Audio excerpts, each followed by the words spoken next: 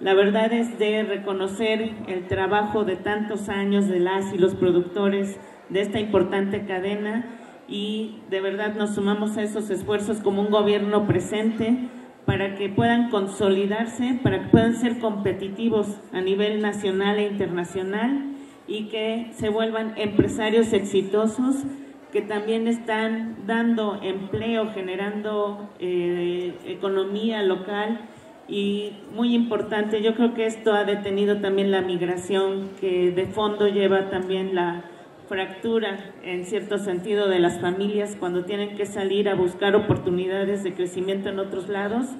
y el saber que hoy las tienen aquí, que están creciendo, pues es de reconocerles todo ese esfuerzo, de desearles lo mejor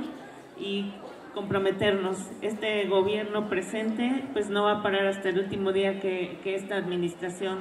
está en, en marcha y dejaremos estrategias también que ojalá puedan continuar en un siguiente ejercicio para beneficio de todos ustedes, de sus familias y de esta importante región.